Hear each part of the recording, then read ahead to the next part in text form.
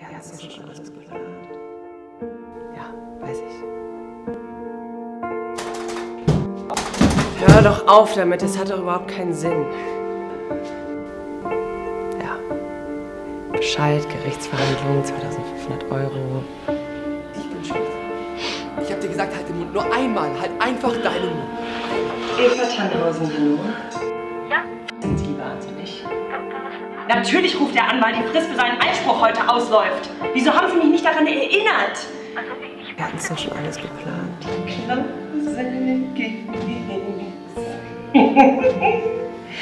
Die haben es tatsächlich nicht gecheckt. Das ist doch nicht Ihr erster Tag heute. Ich brauche doch dann noch Ihre Unterschrift. Warum muss ich eigentlich jetzt mein Gesicht wieder hier wahren?